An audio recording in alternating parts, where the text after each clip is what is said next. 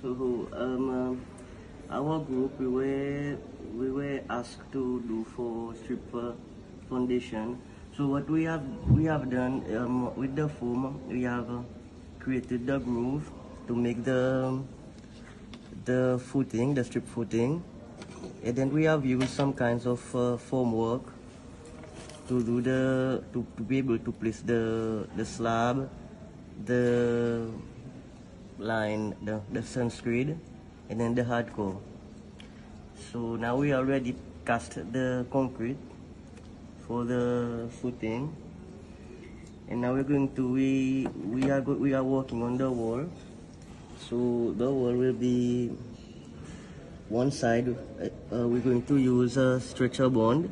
And then the other side, we're going to use a header bond. Finish. Yeah. Yes, now we have put uh, the formwork for the for the lintel. Uh, we have used the, the board and uh, support the timber so we can hold the formwork for the lintel with the wall.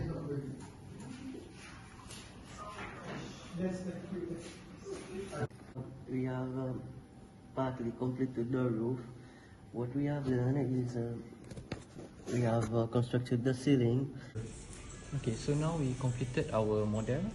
Okay, we start from the bottom. There is a continuous strip footing on the bottom, and then um, we use the English bond. And um, from the lowest part, we have a hardcore, uh, is rocks. Then we have sunscreen, then uh, concrete slab, and then on top of the concrete slab, we have roof tiles. Okay, so four times, four times. four tiles. Okay, uh, so we make uh, three type of bonding here. Okay, uh, this one, the left part is a stretcher bond. You can see this is a stretcher bond. Then on the mid one, uh, Stretcher bond. it's also a stre- stretcher bond. And on the side, we do a header bond. And for the for the below part, we uh, we do the English bond. Yeah. Okay, so uh, here is the window, and here is ceiling, and on top of the ceiling I have batten, and then this is the roof trusses. Okay, so if you can see from this part is a rafter, and on top of this I have a ridge, and this one is a, a sheeting. It's a metal sheeting.